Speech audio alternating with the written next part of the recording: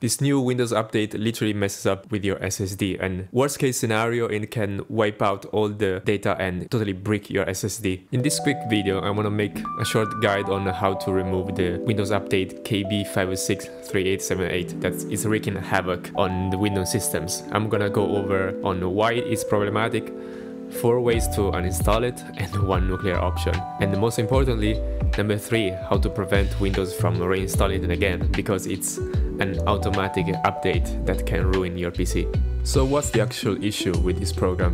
Well, it messes up with your hard drives. It's already been uh, reported that if you transfer files over 50 gigabytes, it can totally, literally disappear the disk from your computer, meaning you're not gonna find it anymore, or it's gonna totally break it and you lose all your data.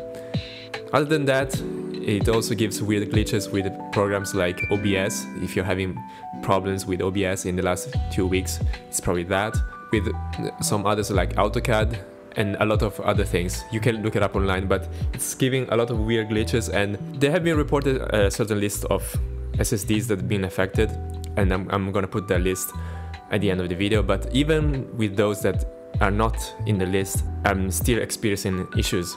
Like on mine, I have I've installed this update on uh, three PCs, and they uh, they all have SSDs that are not in the list but have glitches with them. Let's start with the first method. If you're lucky and everything goes well, all you have to do is right click on the Windows icon, go to settings, you go down on Windows Update, Windows Update History. Now here you check if you have this update or not. As you can see, I had it, mine was installed on the 14th of August, so only two days after release, and it's the KB5063878. Now, you scroll down in this section, in Update History, and you're gonna have Uninstall Updates. You click that, now you don't see it here because I've already done it, but you will find your update here and you click uninstall. Now, if everything goes well, it's gonna tell you to restart your PC. Don't do it yet. Go back to Windows Update and pause updates for five weeks ex extended for four weeks. And so this, when you reboot your PC, is not gonna try to re-download the update again. This if everything goes well. But of course, with Windows and Microsoft, nothing is as easy as it seems. I had a few errors while doing while doing this on other PCs, and now I'm gonna go over how I solved it. If the first method didn't work, we can do it also in other ways. And the second is to go in your search search for command prompt cmd, run as administrator, yes, and here you type this command, wusa slash uninstall slash kb, and here you input the number of the um, update you want to uninstall. So in this case, it's 5063878, and then you just click enter.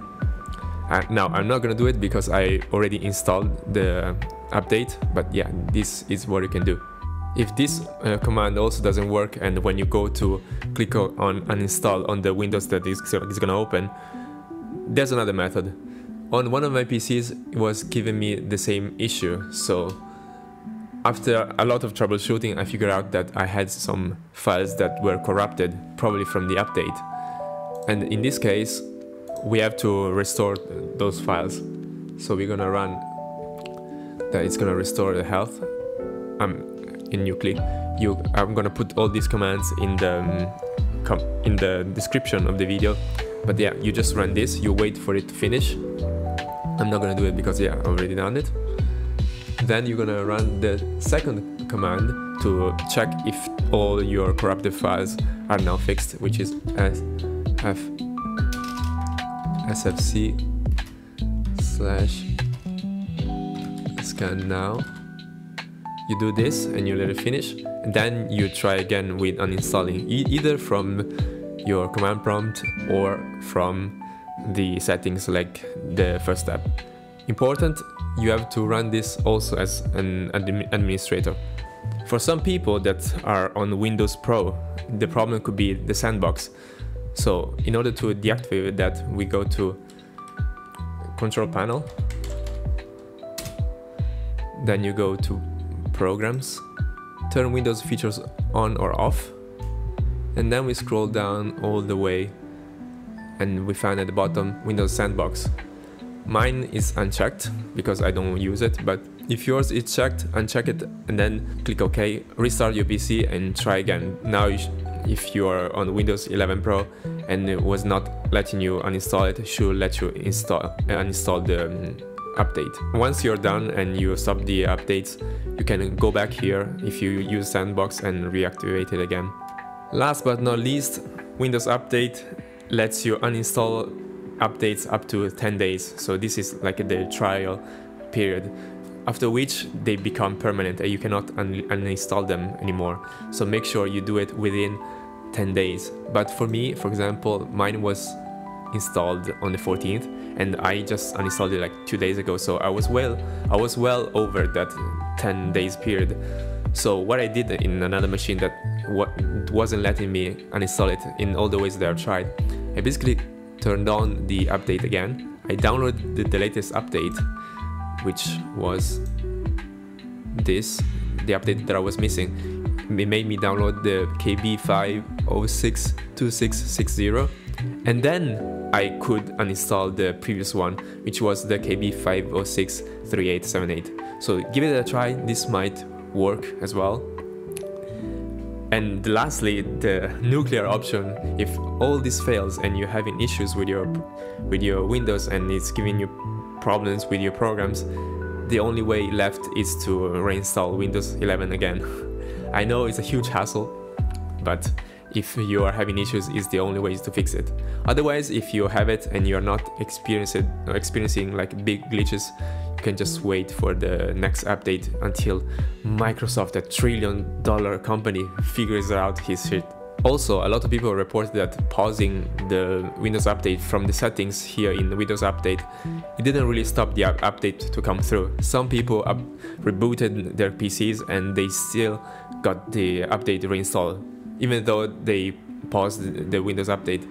So what you can do is actually going through through CMD and extend the period manually from here. And I've noticed that it doesn't do it anymore. Like mine see it's set on the 27th of September.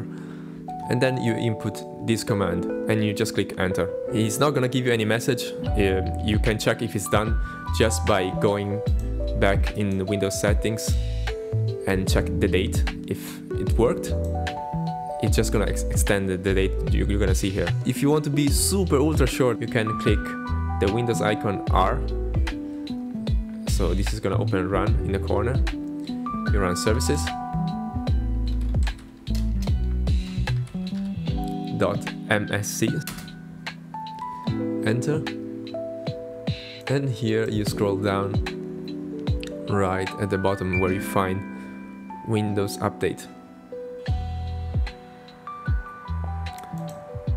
You double click and here you can stop the process you can either set it on manual or disable it and this is not gonna start the, next time and you, you're gonna be sure that it's not gonna reinstall the, the update. To verify if the update is gone for good, you can go back to uh, the CMD, type systeminfo.exe like it's written there and here it's gonna load all the data and under hotfix you're gonna see all the installed updates and as you can see mine is gone. It's not it's no longer there. If you just check the history update it's still gonna be there but it doesn't mean it's installed. Ah and one more thing. Fuck microsoft